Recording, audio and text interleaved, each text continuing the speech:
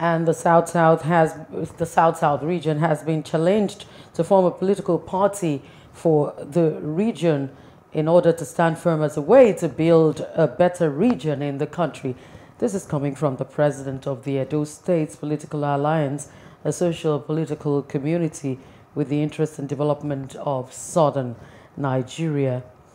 Mr. Ambassador Egusa Ugo, in an interview, Egusa said that the leadership in the southern part has failed.